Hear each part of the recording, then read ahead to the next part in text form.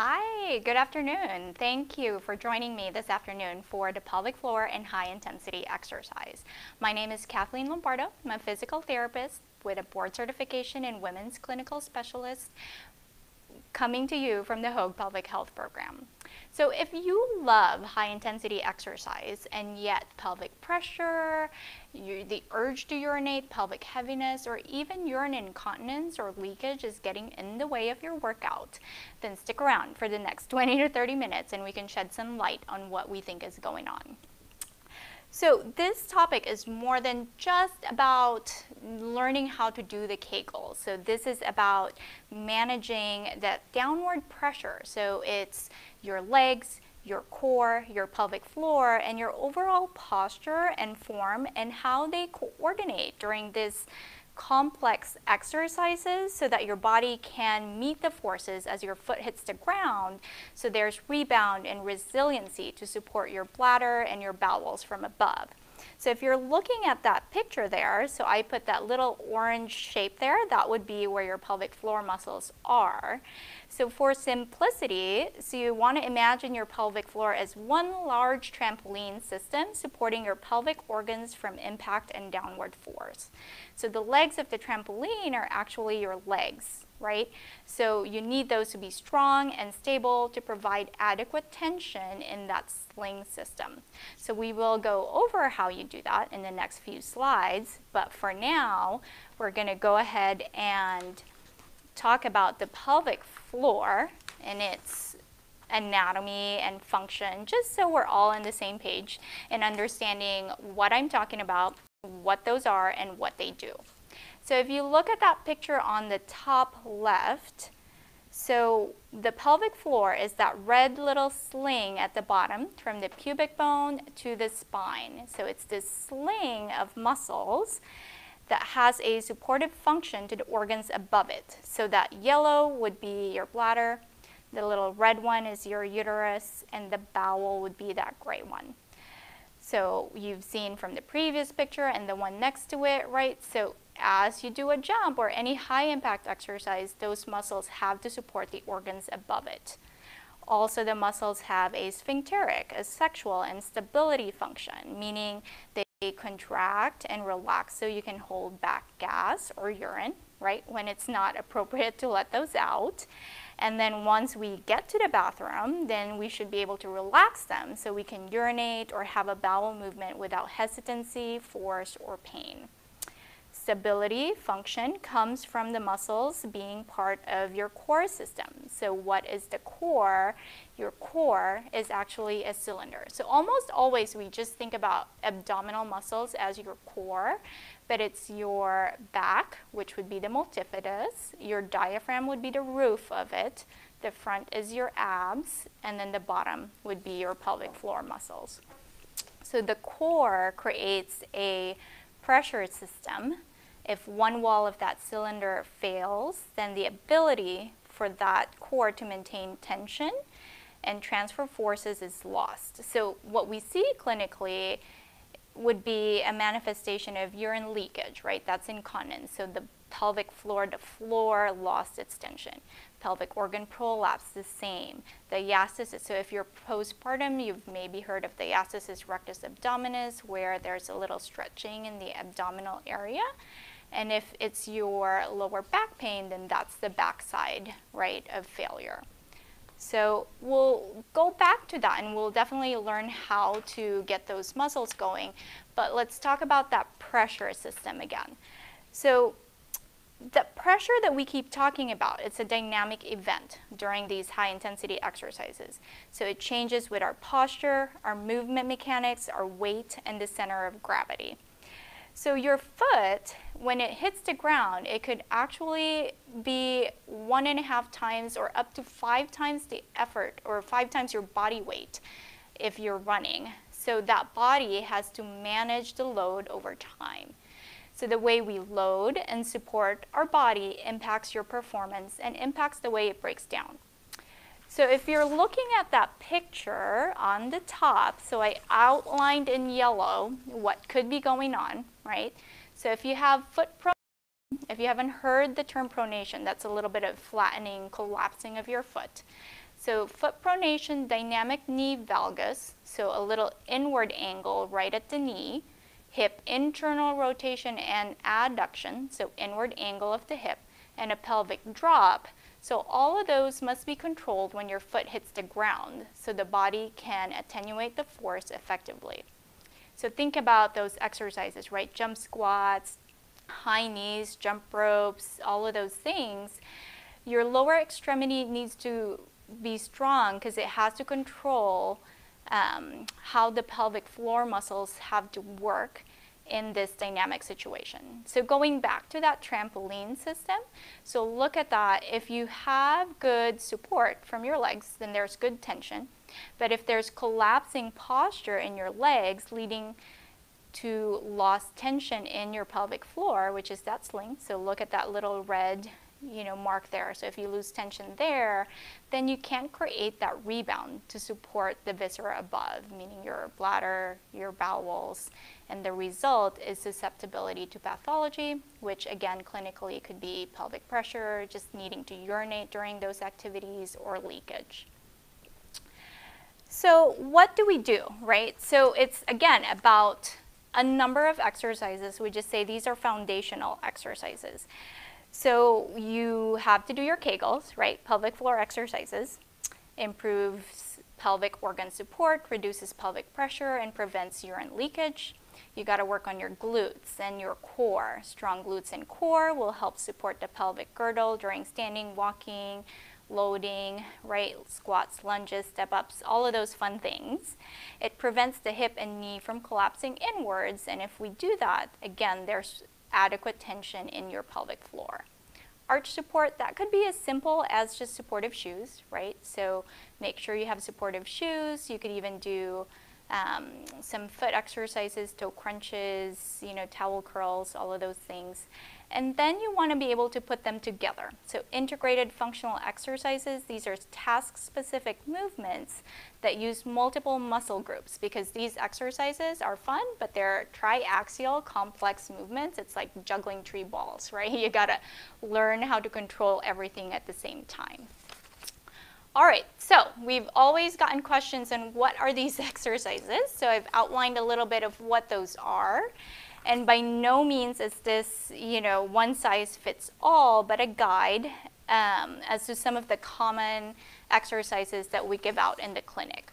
So it's a mixture of things where, you know, we're doing our core. Some of it would be that bridge or isometrics or that bicycle, dead bugs we call them in the clinic, bear plank, full plank, modified plank. And for glutes, we do a mixture of things where your feet are on the ground or they're off the ground. So we have side lying leg lifts, you could do a squat, single leg balancing. Again, when you're balancing on one leg, your glute actually has to turn on, meaning your butt, right? You're squeezing your butt so that your pelvis doesn't drop on the other side. So you're keeping a, an even pelvis there. And then doing some leg extensions on your hands and knees, side plank, fire hydrants, and bridges again. And then we always want to do integrative exercises. So what that means is that we're training and using multiple muscle groups and adding maybe trunk resistance exercises for perturbation and control of your pelvis over your leg, over your femur. So it's one thing to do leg exercises in the air, right? But if you're going to plant, jump, step up, all of those things, you need to control your pelvis over your leg and your pelvis is actually that socket for that hip joint and then your pelvic floor lives in there too.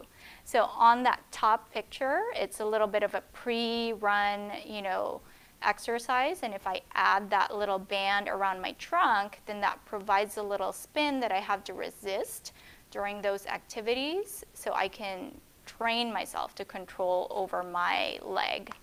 We like to do core exercises, but introduce upper extremity, meaning arm movements, right, with using a reciprocal motion um, and a feed forward rotation and movement of the arms because your deep abdominal, so your transverse abdominis, actually works with a synergy of your trunk rotators and you gotta introduce posture, awareness, breathing, all of that stuff. So it's not, when you do the core, it's not so much just a core set type of exercise, but it's turning it on before an arm movement. So it's a feed forward muscle. I like to use a tall kneel or a half kneel as a precursor. So if standing, lunges, all of those things are a little bit difficult, then I'll break it down and use a half kneel because um, that is similar you know, to a lunge. And in that position, I can get my glutes to fire. I can inhibit my hip flexors if I'm tight in my quads and my hips there. Um, I like to use that. And again, adding arm work accentuates some of the slings um, in my back and my trunk. And then we have the bridge again, adding some arm movements, and then our multi-directional lunges. So you got to do all of these as prep work um, to get your legs strong, your core strong. And then we'll now come back to our pelvic floor, right? I think it would be a disservice not to talk about how to do a Kegel. Um, so how do we do a Kegel? So I want to make sure we touch base, you know, and walk away here knowing how to do that. So let's revisit where those muscles are. So the picture here is now looking at you if you were on a table, an exam table with your legs bent. Um, the top part there would be your pubic bone and then your tailbone and your hip sockets there side to side. So all that red that lives in the middle would be your pelvic floor. So you can practice with me if you like. We're gonna just try and do a Kegel here. So think about squeezing your muscles like you're stopping the flow of urine and gas from coming out. And then imagine there's a zipper starting from your anus or your rectum and closing it up to the vaginal canal up to your pubic bone into the urethra. And then draw that sensation back to the labia and pull that sensation up and inwards, like inside of you in the vaginal canal, about a milliliter and then you're going to have to breathe. so that is a Kegel. So again, so we'll start, so what it would be is you take an inhale to prepare, and then on the exhale, you're going to squeeze like stopping gas and urine from coming out. Bring the labia together, pull it up and in, and draw that sensation inside of you, about a milliliter, and hold and breathe. And that would be a Kegel. And we're going to do different vari variations of that, um, but that is how you do a Kegel. All right, now we're going to integrate that Kegel into your core, right? So we said your pelvic floor is part of your core, and during these core exercises, you want to be able to activate all of those muscles. So how do we do that? So you're going to inhale to prepare. Now you know how to do a Kegel. You're going to Kegel, and then you're going to pull your belly button in and up as you exhale and lightly tighten the stomach muscles. And now you really got to think of pressure away from the pelvic floor. So imagine there's a wire pulling your hip bones together. And then imagine that you're lengthening your spine to activate your back muscles, your multifidi. And then you're going to breathe. So go ahead and relax. So if you put your hands above your hip bones and sink your fingers in, when you contract your transverse abdominis, you should feel a tensioning away from your fingers. So I'm kegling and then I'm pulling my abs away from my fingers, but very important to think about those pressures as moving away from the pelvis. So going up towards your head, exhaling, air out. So we like to exhale. People ask us why we do an exhale because your diaphragm and your pelvic floor have a rhythm. So when your diaphragm comes down on the inhale, so it pushes the pelvic floor down, and when you exhale, your diaphragm comes up and your pelvic floor should naturally come up. So we'll practice this one more time. So you're going to inhale to prepare, and then you're going to kegel and exhale, pull the belly button in and up, thinking about tensioning your hip bones together and lengthening your spine, and keep breathing and relax. So if I were to do my core exercises, so if I were to add, you know, an arm movement, then what I would do is I'm exhaling, activating all of that, and then moving my arm. Remember, it's a feed forward. It has to turn on blow before you go is what we talk in the physical therapy world. We say exhale, pull it in, and then move your arm. So that is what your core should do. All right. So, uh, you know, just a quick note that muscles are not just for shortening. Uh, muscles also need to lengthen. So it has two purposes, right? So it has to produce movement and then lengthen to allow for movement. So important that you got to think about a range of motion. Again, thinking back to that trampoline, it's not just about tension. It has to go up, it has to come down. It has to have elasticity and rebound and not just be like a tight closed fist all day long, right? So what you strengthen, you got to stretch. If you contract, you got to relax fully. All right, so a proper Kegel is a full pelvic floor contraction followed by a full relaxation. So what does an exercise program look like just for the pelvic floor? I said we were going to do a variety of them. So here it is. So the first one would be quick Kegels. We just contract, relax, contract, relax, contract, relax. So they're reflexive. We do that because our pelvic floor muscles have some muscles that are fast twitch, we call them like sprinters, right? You need to react if you cut, plant, um, change directions really quickly. And then the next one would be slow Kegels. So you hold it for 10 seconds, and then you fully relax for 10 seconds. So those are more postural, endurance type Kegels, right? If you're going to support your organs, you actually need endurance. So for those two, you're going to do two sets of 10, right? daily. So most of our patients, you know, when they come in, we say do 10 quick, do 10 slow, and do it twice a day. And then if you're gonna do high intensity exercise, we like introducing elevator kegels, we call them. What that is, is on that exhalation, you're gonna contract your pelvic floor, thinking of going up about five floors. So I'm inhaling to prepare, and then exhaling, I'm gonna go up to the first floor, second, third, fourth, fifth, hold it, and then I'm going to go down. Four, three, two, one, maybe even the basement, and then do 10 repetitions of those. So what that does is you're shortening and lengthening through a range of motion. Again, for high impact exercises, it's not just it's on or off. You need to have that control through a range, up and down, inhaling and exhaling, and being able to work through that range. And then functional Kegels, we've talked about, it's part of your core. So these muscles need to be um, on with exhalation, on with your core, on before some movements. All right, and then don't over exercise. Um, these muscles can be also too tight, like we said, you know, like holding a tight fist all the time. And we always get this question, you know, are Kegels for everyone? And the short answer is no. So not everybody, you know, needs to do Kegels necessarily. I mean, it's good, but in the clinic, so the long answer is that some of our patients or our athletes can actually come in and they're over reliant on their pelvic floor as a form of stability.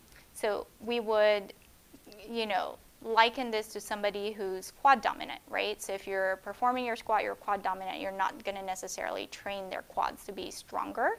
You're looking at why am I quad dominant? What else can I do? And what's wrong with the form and why, you know, I'm always going to that muscle group.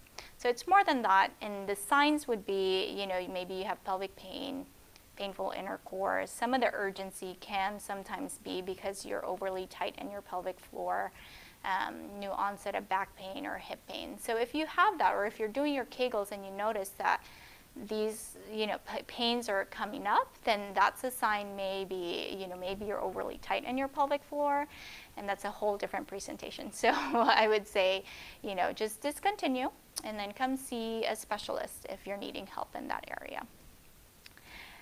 All right, so just as a summary, so if there's an imbalance in either direction, right, so proper rehab will result in more functional movement and decreased likelihood for injury. So just make sure you get that checked out. All right, so some of the fun things, right, we want to just give you some tips. Talked about form and posture. So if we're looking at a jump squat or high knees, so do a posture check. So don't crush the canister we talk about. The canister meaning your core, we had that cylinder image, right? So if you're doing a high knee or jump squat, you don't want to be crunching down, so you want to keep your cylinder straight and not crush it and work through your hip range, right? You're bringing your knees up. Land lightly, toes forward, arms swing up on the jump, land beneath your center of mass, and exhale on landing. So we're training our pelvic floor muscles to turn on on exhale. So if you breathe and practice on exhaling on landing, then hopefully you could manage that impact. All right, jump rope, double unders, again, posture check, right? So don't crush the canister. Land gently and absorb impact through your ankles and your knees. Keep your core engaged. So you're looking at where are my ribs, so make sure your ribs are stacked over your pelvis, preventing rib flare. So when you're doing jump and you're holding, you know, that jump rope, typically when you're pull, you know, doing it's going up over your head, your rib tends to flare, and what that does is it ruins that core cylinder system. So keep your pelvis, ribs over your pelvis. Um, keep your pelvis from forward tilting or back tilting, chin down, lengthen your neck. Um, move the jump rope using your wrists and try to keep your elbows locked against your sides. Breathe through your diaphragm and don't hold your breath and some other tips here in that your jump rope length should reach the armpit to nipple line when you are standing in the middle of the jump rope. So just, you know, how to measure it.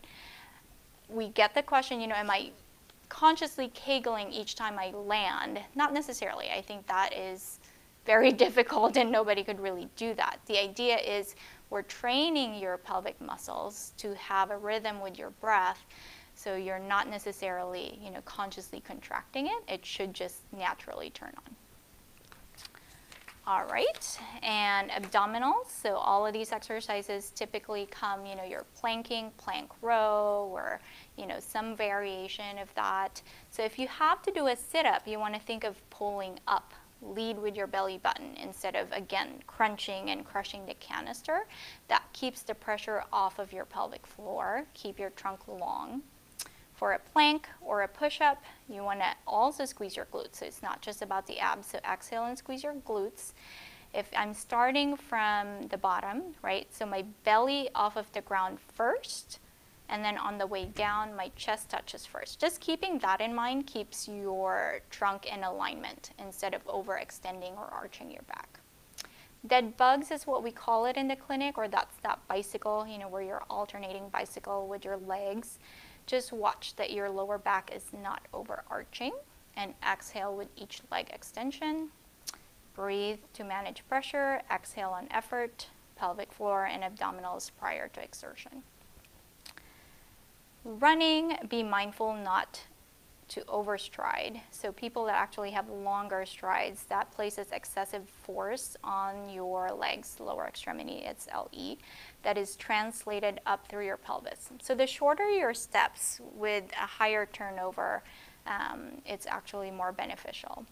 But you want to make sure that your impact, yes, you're shortening your step and your foot hits the ground a little bit more, but you want to manage that impact. Think of leaning into the run as if you're catching yourself from falling. Don't fight the run. Pelvic floor should naturally contract at foot strike to help absorb the shock and then relax during the flight phase. Again, not consciously contracting, but use your breathing technique to try and get those in. All right. Um, warm up, cool down and stretch, so don't forget, those are all important. Um, yes, you want to build strength, meaning capacity, want to work on balance and control, but also flexibility.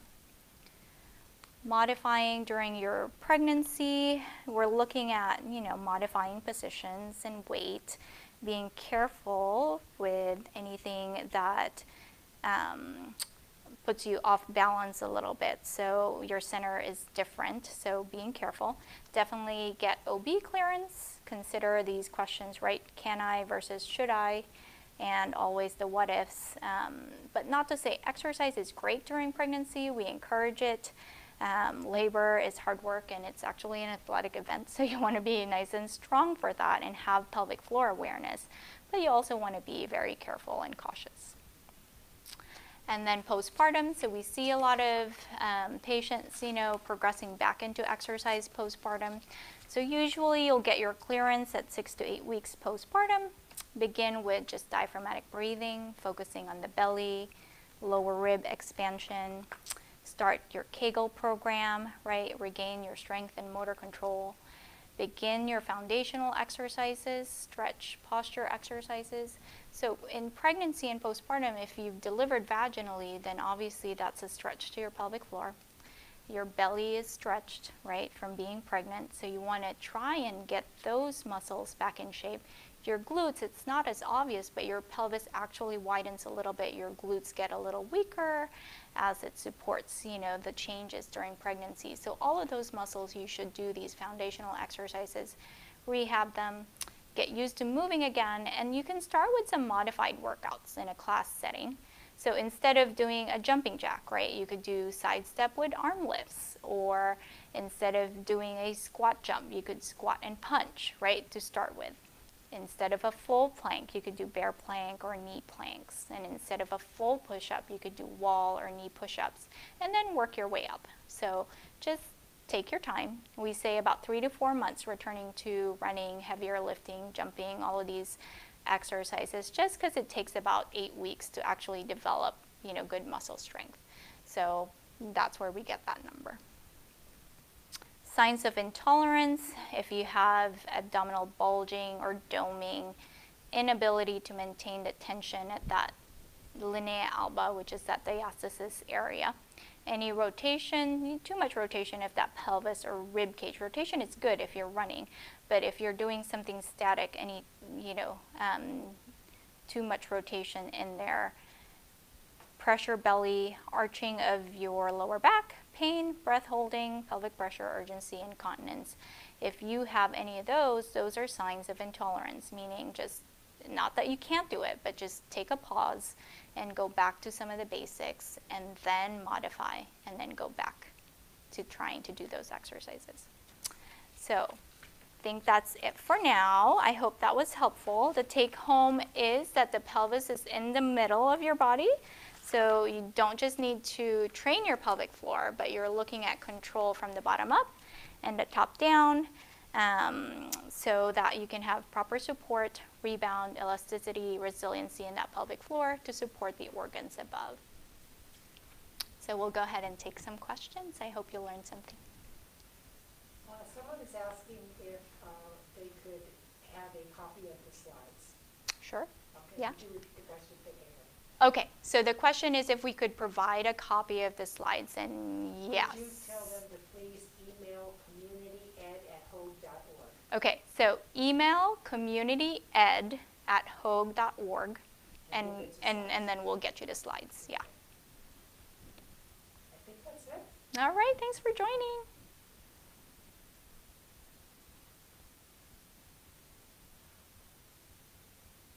Did you share that? Okay, we have one, explain how to proper sit up.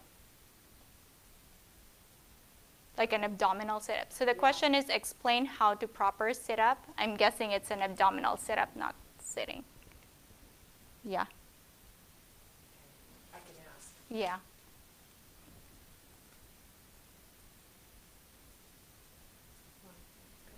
Yeah. Um, and I might have to get on the ground.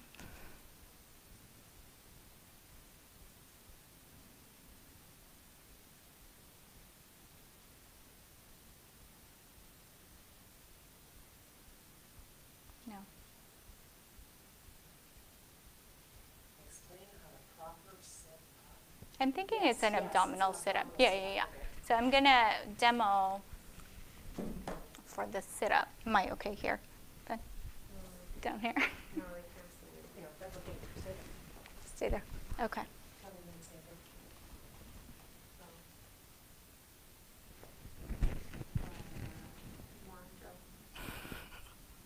Yeah, that's good. Okay. So for an abdominal sit up, so what I'm saying is you don't want to do this. So you don't want to curl up. So what you're looking for is you're keeping the trunk long and you're thinking about going up this way. So if you have one of those plates, it helps, you know, if you have a plate, thinking about you have a plate here and you don't want to spill it, whatever's on it, and then you're offering it up. So you're not going to go as far. If you're strong, I'm not that strong. If I'm strong, I could probably go all the way up. But you want to not do this. So you want to do a little bit more of that.